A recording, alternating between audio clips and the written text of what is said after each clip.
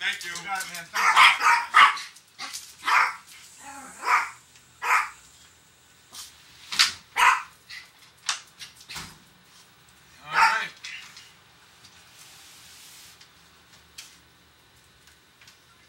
Lots of dogs barking. Well, here it is. Came in a brown box. That's it. Alright. Alright, now we're gonna open up the box and uh, take care of it from there. Alright? Here we go. Oh, well, okay, well, here's the box as it just arrived a moment ago. Uh, it arrived here at 1212 on the 23rd of July, 2008. The brand new iMac. I'll put it on the table here so I can open it. And uh, we'll uh, see what it's see what it's like here. Let me just uh, cut the top of the box open here first. I haven't done one of these. You know, my friend uh, Ray Glasser up in uh, Cleveland, Ohio area, Mentor actually, and he, uh, we used to do this all the time when we used to be buying Betamaxes at a rapid rate. We would always uh, open these things on camera, and so I'm I'm keeping the tradition and doing the same thing. So anyway. There we go. Ah, good. It's got a handle on the top of it like a big suitcase. I'm going to put this thing on the ground a little bit and just lift it out of the box. There we go. Ah, whew. That's a that's a heavy box. Alrighty, there's what the front of the box looks like with a kind of a side view of uh, the iMac. And you flip it around here on the other side, and that shows you what the screen is going to look like which is really cool with all the different programs down along the bottom. We're going to explain this in several parts, uh, how the iMac works. And uh, the first thing we're going to do on this uh, particular tape, part one, is uh, we're going to put the memory. I've got an extra gigabyte of memory, and we're going to install it before I even turn on the machine. Okay, well, let's uh, open up the box kind of see how they have things packed. Again, uh, Apple always does such a, a great job on this. Okay, I've got something here in the top lid here that I'm I'm sure is the keyboard. Uh, again, they have uh, designed by Apple of California. How about that? And uh, oh, I see. It's like a little slider thing and everything. It's in a very nice and this this even the cardboard is is nice and smooth. All right.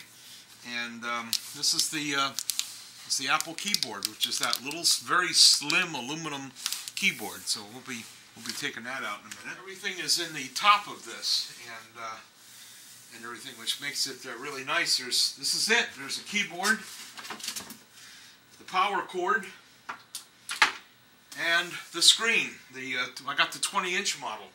So hey, you know, that's it. The box is empty. That's real easy. Okay, here, here it is. And like my pre previous iMac, uh, I used, I know it's not very glamorous, but I used this as a cover. Uh, and, and used it whenever I just, you know, when I wasn't using it, would put this foam thing back on it. Again, and they have a, the same thing.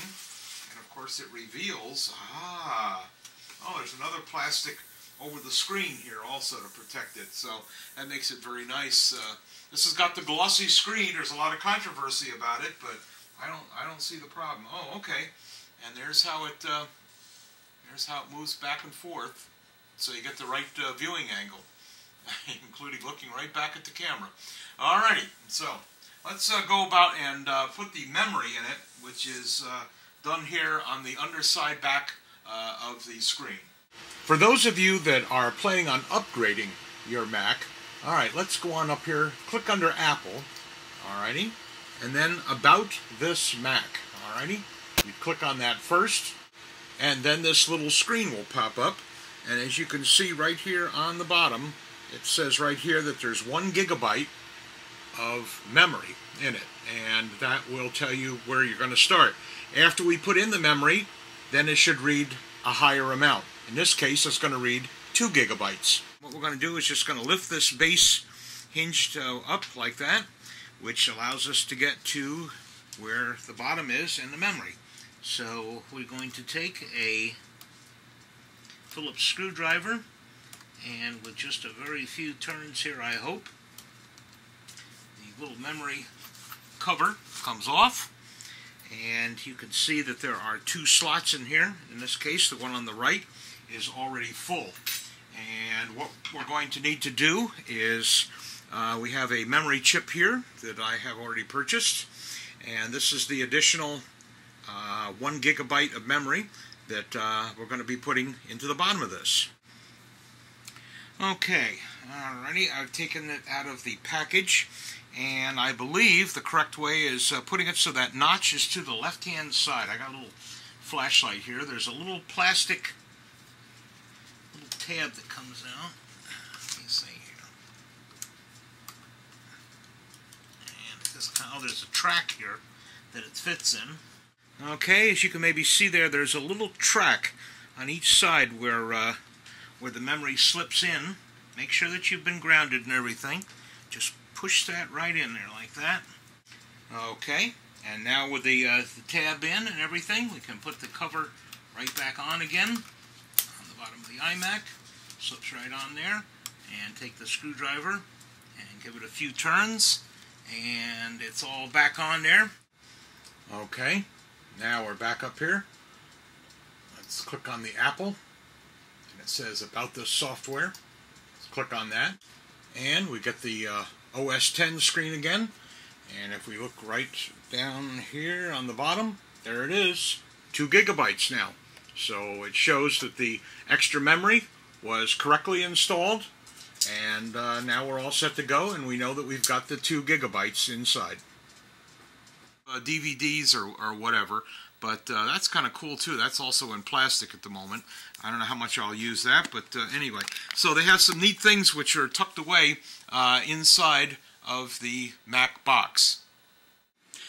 Well, okay, here we are. I've got the, uh, the iMac plugged in, and uh, we're basically all set to go. Uh, the memory is fine, and of course we have iMovie 08, and we might even talk about uh, iMovie 6 and everything, but we're going to save that all for part two. Everything's good, everything's ready to go. This is a beautiful computer, believe me. Uh, I've had different iMacs. I had the G4 before that, and actually also had the uh, the original digital video models. It was called iMac DV. Uh, back when I first uh, started this and changing over from analog to digital and everything. But this is one fine computer. So uh, in part two, we're going to go over some of the programs very basically. I'm not a big Mac ex expert. There's a lot of guys out there I know who are, uh, you know, a lot more familiar with this than I am. And uh, I've used OS 10, so I'm okay. We've got the latest version installed on here, but I'll just give you kind of an oversight of uh, what uh, the uh, system is like and, and uh, some of the reasons why I like the iMac so much. Those of you into digital video and photography, digital photography and everything, this is the one for you. So anyway, so we're all set to go, and uh, stay tuned for part two. Give me a few days here because I'm going to have to learn some of the ins and outs here with this, and uh, and then uh, we'll. Um, we'll take a closer look and I'll invite you along. So stay tuned for uh, my uh, iMac Part 2, and I think that you'll really enjoy it. This is Kerry Decker thanking you for your time this time. Until next time, we'll see you again real soon. Bye-bye now.